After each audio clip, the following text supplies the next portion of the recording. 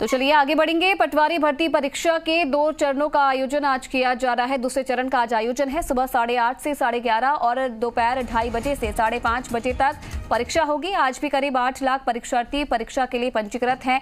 प्रत्येक चरण में करीब चार लाख परीक्षार्थी परीक्षा देंगे। प्रदेश के तेईस जिलों में एक हज़ार एक सौ सतहत्तर परीक्षा केंद्रों पर परीक्षा का आयोजन किया जा रहा है। इधर जयपुर में आज दो सौ पैंतीस परीक्षा केंद्रों पर परीक्षा का आयोजन होना है।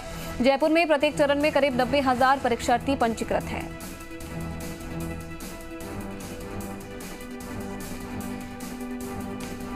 चलिए, फ़िलहाल इस खबर पर ज़्यादा जानकारी देने के लिए मेरे दो सहयोगी हमारे साथ जुड़ रहे हैं। हिमांशु मित्तल कोटा से हमारे साथ हैं और आशीष चौहान जयपुर से हमारे साथ जुड़ रहे हैं। कोटा का पहले रुक कर लेते हैं। हिमांशु, आपके पास आना चाहूँगी। आज दूसरे चरण पटवारी परीक्षा का दूसरा चरण है। किस तरीके की तस्वीरें सामने आ रही हैं और व्यवस्था फ़िलहाल क्या की गई है और उत्साह जो परीक्षार्थी हैं, उनमें कितना देखने को मिल रहा है? देखिए फ़िलहाल अब तमाम जो स्टूडेंट हैं वो एग्ज़ाम सेंटर पर पहुँच चुके हैं कोटा के JDB girls college exam centre पर हम हैं और फ़िलहाल वो अंतिम प्रक्रिया चल रही है। लगभग लगभग सभी student exam centre exam hall के अंदर एंट्री कर चुके हैं। ये तस्वीरें आप देख लीजिए। ये लास्ट तस्वीरें। चलिए आपसे सबसे पहले एग्ज़ाम के लिए पहुँचने वाले हैं। आपका रिएक्शन क्या बहुत बढ़िया रिएक्शन यस बढ़िया एकदम बस। कितनी तैयारी तैयारी। फुल तैयारी है। पूरी तैयारी की है और तैयारी के साथ में एग्ज़ाम हॉल के अंदर फ़िलहाल ये स्टूडेंट्स जो हैं वो एंट्री कर रहे हैं। कोटा की आपको बता दें कि पहली पारी में आज तिहत्तर केंद्रों पर यह परीक्षा कोटा ज़िले में हो रही है, जिसमें चौबीस हज़ार अड़तालीस अभ्यर्थी यहाँ पर बैठने वाले हैं। दूसरे चरण की बात कर लें तो सड़सठ केंद्रों पर ये परीक्षा होगी, जिसमें इक्कीस हज़ार चार सौ चौवन परीक्षार्थी जो है वो नामांकित हैं।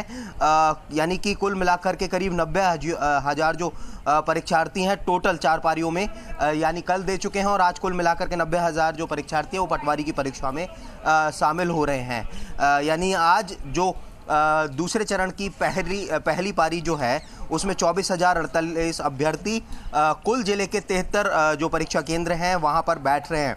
लेकिन इन सब के बीच में जो सबसे बड़ी चुनौती है, वो ये कि तमाम कोशिशों के बाद जो तमाम तैयारियाँ और तमाम शक्ति जो कल हमने दिखाई थी, उन सब के बीच में कल बड़ी मुन्ना भाई की जो गैंग है, वो पुलिस के हत्थे चढ़ी थी। कुल चार गिरफ्तारियाँ कोटा से हुई थी और छः जो अभ्यर्थी हैं, उन्हें हिरासत में लिया गया था। उनसे पूछताछ चल रही यानी फ़िलहाल उनसे बड़ी पूछताछ जो है, वो फ़िलहाल चल रही है। आपको बता दें कि इस पूरे मामले में सवाई माधोपुर पुलिस, एसओजी को जो है, वो इनपुट मिला और कोटा पुलिस इस पूरे ऑपरेशन में शामिल हुई। आर के पुरम थाना इलाके में मुन्ना भाई बनकर परीक्षा दे रहे जालौर निवासी नरेश विश्नोई को सेंटर से गिरफ़्तार किया गया। आ, इसके साथ में आ, आपको बता दें इसके ग्रोह के जो अन्य सदस्य हैं वो भी परीक्षा दे रहे थे जिन्हें उद्योगनगर कोतवाली इलाके में कार्रवाई करते हुए कुल चार गिरफ्तारियाँ हुई और छः लोगों को हिरासत में लिया गया। नरेश विश्नोई के साथ में सुरेश विश्नोई सवाई माधोपुर का निवासी एक गौरव मीणा और मूल अभ्यर्थी अनुराग मीणा को यहाँ पर गिरफ़्तार किया गया। एडिशनल एसपी प्रवीण जैन ने खुद इस पूरे मामले को लेकर के एक टीम बनाई थी। आपको बता दें कि आधार कार्ड पर फ़ोटो चेंज करके सिस्टम की आँखों में धूल झोंकने का ये प्रयास तमाम जो अभ्यर्थी हैं वो कर रहे थे। ये जालसाज जो हैं वो कर रहे थे और फ़िलहाल अब ये तमाम जालसाज पुलिस की गिरफ्त में यानी कि हम तमाम तैयारियाँ कल आप देख रहे थे कि हमने दिखाई थी कि इतनी सख्ती है पुलिस की। पुलिस ने पूरा की पूरा एक जो आ, बड़ा एक सुरक्षा का चक्रव्यूह तैयार किया है। हर एग्ज़ाम सेंटर पर चार टीमें बनाई गई हैं। एक हज़ार के करीब पुलिस कांस्टेबल, आरएसी के जवान, एएसपी रैंक के अधिकारी, डीएसपी रैंक के अधिकारी पूरी एक टीम तैयार की गई है। लेकिन इस, इन सब के बाद भी जो फर्जी अभ्यर्थी हैं, जो एग्ज़ाम में गड़बड़ झाला करने जाला करने वाले अभ्यर्थी हैं, वो सक्रिय रहे और उनकी बड़े पैमाने पर गिरफ्तारी हुई। यानी कि पटवारी की जो परीक्षा है, वो भी संदेह के घेरे में तमाम कोशिशों के बाद में, तमाम सख्ती के बाद में भी इस तरह के जो मामले हैं वो कोटा से देखने को कल के दिन में मिले, पहले दिन में मिले। आज जब दूसरा चरण है और दूसरे चरण की तीसरी जो पारी है वो सुबह की है, वो हो रही है तो फ़िलहाल कह सकते हैं कि तमाम जो अभ्यर्थी हैं वो एग्ज़ाम सेंटर पर एंटर कर चुके हैं। ठीक साढ़े आठ बजे ये परीक्षा शुरू हो जाएगी। चलिए बिल्कुल, कहीं ना कहीं देखिए हिमांशु, न सिर्फ़ कोटा में बल्कि प्रदेश के कई जिलों में ऐसी वारदात, ऐसी घटना सामने आई है, जहाँ पर ऐसे नकल गिरोह सक्रिय हैं और लगातार जो प्रशासन है वो भी कहीं ना कहीं मुस्तैद है, कार्रवाई की जा रही है। बस उम्मीद यही है कि पूरी पारदर्शिता के साथ इस पेपर को करवाने में सफलता हासिल हो प्रशासन को भी। चलिए आशीष का रुख कर लेते हैं। आशीष, कोटा की तस्वीरें हमने देखी, कुछ ही समय बचा है परीक्षा की शुरू होने में। क्या कुछ हलचल फ़िलहाल राजधानी जयपुर में देखने को मिल रही है? क्योंकि बड़ी संख्या में जो परीक्षार्थी हैं वो राजधानी जयपुर में एग्ज़ाम देने के लिए पहुँचे हैं। जी, आयुषी देखिए, हलचल जो है अभ्यर्थियों के बीच में नहीं हो रही है, बल्कि हलचल वहाँ हो रही है जहाँ पर नकल हो रही है, क्योंकि नकल गुरुओं पर लगाम लगाने के लिए जो प्रशासन है पूरी तरह से नाकाम साबित हो रहा है। कल भी हमने देखा था कि कल जो मास्टरमाइंड है, उनको पुलिस ने गिरफ़्तार किया है और ऐसे शख्स को गिरफ़्तार किया है जो पहले रीट की परीक्षा दे चुका अभ्यर्थी और उसके बाद में पटवारी की परीक्षा दे चुका है। जालोर का ये निवासी है सुनील, जो कल सोडाला में परीक्षा देने के लिए डमी कैंडिडेट बनकर आया था और आज ये पहले तो जोधपुर में और उसके बाद में 200 किलोमीटर की दूरी पर जालोर में परीक्षा देने वाला था। यानी कि गिरोह कितना सक्रिय है और कितना बड़ा है, इसका अंदाज़ा हम लगा नहीं सकते हैं, क्योंकि आज यदि कल पुलिस उसे नहीं पकड़ती तो आज भी वो जोधपुर और जालोर में परीक्षा देने आता और उसके साथ साथ जो रामलाल है, गिरोह का जो सरगना है, उसे पुलिस अभी तक गिरफ़्तार नहीं कर पाई है। और तीसरा जो व्यक्ति है, वो है ओम प्रकाश नाम का व्यक्ति जो पैसे के लेन देन करने का काम करता था, लेकिन पुलिस अभी तक भी जो कैंडिडेट है, उनको जो गिरफ़्तार है, वो नहीं कर पाई है। यानी कि कह सकते हैं हम कि कितना बड़ा सरगना है जो राजस्थान में चल रहा है। कह सकते हैं पहले रीट की परीक्षा देता है 26 सितंबर को, और उसके बाद में वो पटवारी की परीक्षा देने भी आता है, और आज भी वो परीक्षा देता यदि पुलिस उसे गिरफ़्तार नहीं करती। इकतीस लोगों को पुलिस ने गिरफ़्तार करा है। इंटरनेट पूरी तरह से बंद है।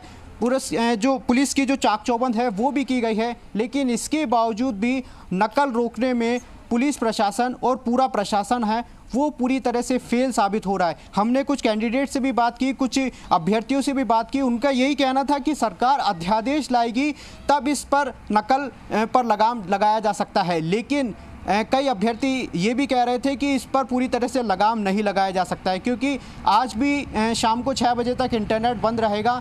तो ऐसे में उम्मीद यही है कि परीक्षा सफल हो, लेकिन ऐसे गिरोह का क्या, जो अब तक भी सक्रिय है, क्योंकि कई गिरोह तो पुलिस अब तक पकड़ में भी नहीं आते हैं। जिस तरीके से 26 सितंबर को परीक्षा देकर अचानक से आराम से चला गया और उसके बाद में आज भी परीक्षा देता और कल भी परीक्षा के सेंटर के बाहर से ही उसे पुलिस ने गिरफ़्तार किया है। ऐसे में बहुत बड़े सवाल उठते हैं कि परीक्षा छोटी हो या बड़ी हो, कोई सी भी परीक्षा हो, उसमें नकल ज़रूर होगी और नकल रोकने में पुलिस जो प्रशासन है, वो पूरी तरह से फेल साबित हो रहा है। अभ्यर्थियों की मैं बात करता हूँ तो राजस्थान में आज आठ लाख अभ्यर्थी परीक्षा देंगे, जिसमें दो दो शिफ्ट में परीक्षा होगी। पहले चार लाख और दूसरे में चार लाख अभ्यर्थी परीक्षा में बैठेंगे। राजधानी में जयपुर की बात करता हूँ तो 235 जो केंद्र है वो जयपुर में बनाए गए हैं जिसमें तकरीबन नब्बे हज़ार परीक्षा बैठेंगे। देखिए चुनौती ये नहीं है कि अभ्यर्थी घर आ रहे हैं घर से जा रहे हैं।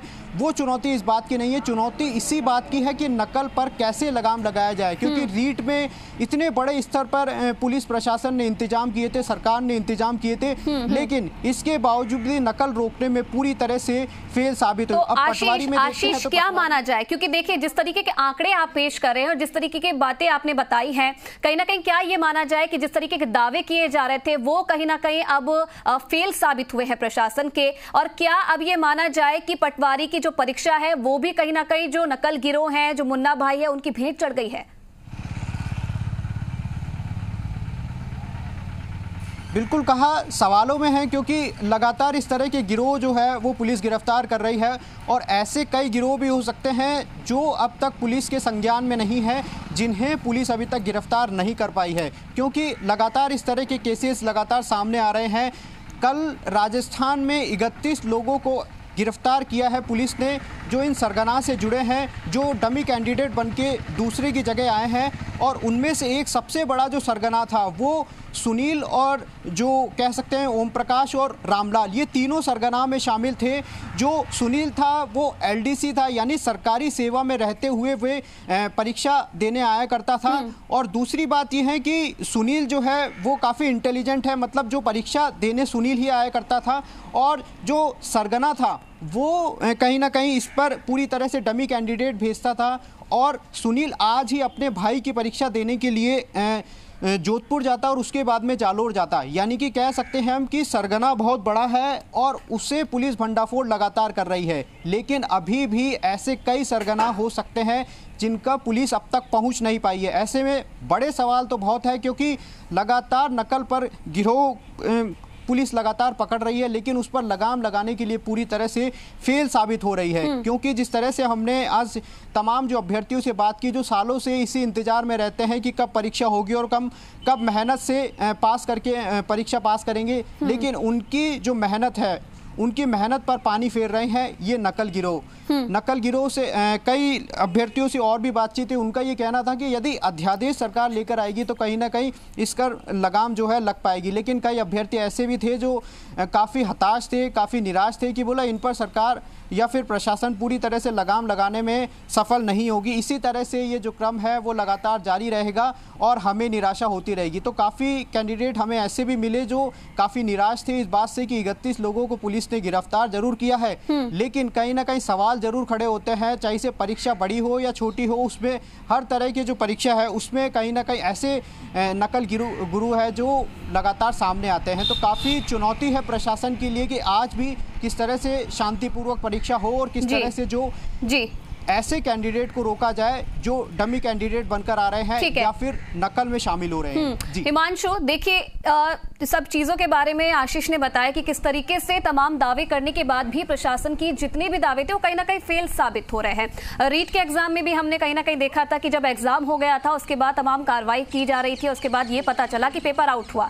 कल कल की परीक्षा में भी यही हुआ। पेपर हो गया उसके बाद माना ये, ये मामला सामने आता है कि कई जगह पर जो प्रश्न पेपर है वो पहले से ही नकल गिरोह के पास पहुँच चुका है। तो क्या अब ये माना जाए कि कहीं ना कहीं एग्ज़ाम्पल सेट करने की कोशिश में सरकार फेल साबित हो रही है? प्रशासन फेल साबित हो रहा है और ऐसे एग्ज़ाम्स के लिए एक एग्ज़ाम्पल सेट यहाँ पर नहीं कर पा रहा है प्रशासन। बहुत वाजिब सवाल आपने किया है और ये सवाल कहीं ना कहीं हर स्टूडेंट चाहता है कि जो हर अभ्यर्थी जो कड़ी मेहनत के बाद में कड़े संघर्ष के बाद में ऐसी परीक्षाओं तक पहुँचता पहुँचता है। हम्म। पहली बात तो ऐसी भर्तियों को लेकर के लंबा इंतज़ार ऐसे अभ्यर्थी कर रहे होते हैं। जब परीक्षा आती है तो वो कड़ी मेहनत करते हैं। और मेहनत पर अगर कोई ऐसा फर्जी शख्स आकर के ऐसे जालसाज आकर के ऐसे गिरोह के सरगना आकर के अगर डाका डाल दें तो उस अभ्यर्थी के ऊपर कितना बड़ा ये जुल्म कहा जा सकता है उसको एक्सप्लेन करना बहुत हद तक कठिन है।